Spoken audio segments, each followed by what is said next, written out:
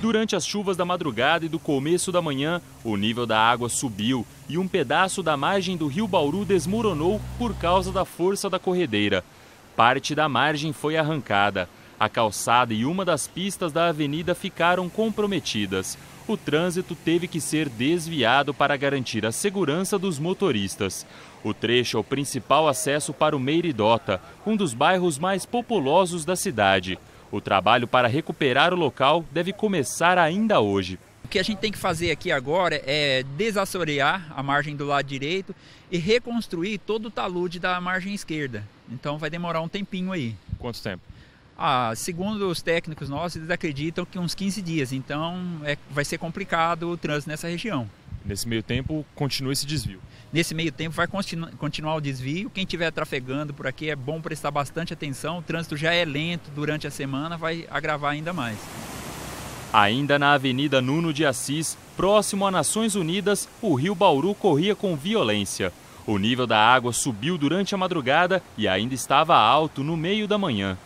Na periferia, transtornos para os moradores do bairro Santa Edviges, zona oeste.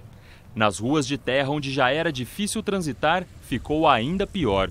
Piorou bastante. Cada vez que chove, piora. Cada vez que chove, piora. Não tem como, não tem como eu falar para você que, que, que fica bom, porque não fica. No Parque Jaraguá, também na Zona Oeste, muita lama nas principais vias de acesso. O cruzamento das avenidas Pinheiro Machado e Gabriel Rabelo de Andrade virou uma enorme poça de lama. A terra desceu principalmente das ruas sem asfalto do bairro. Lá embaixo, o asfalto ficou escorregadio e os motoristas precisaram passar com cautela. Isso aqui atrapalha a vida dos moradores. Então. Atrapalha muito, muito mesmo. Se a pessoa se sair cedo do seu carro não poder sair de casa porque seu, a sua rua está cortada e o seu carro não pode sair da garagem. Só mesmo se desse para pegar o ônibus, aqui os pontos de ônibus está vendo. Ó os pontos de ônibus aqui não tem nem condições de, de ficar no ponto esperando o ônibus, toda a terra que tem aí, né?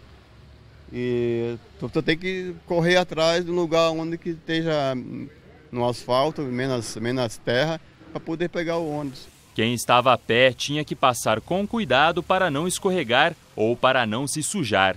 Mesmo assim, ficou difícil chegar em casa com os pés limpos.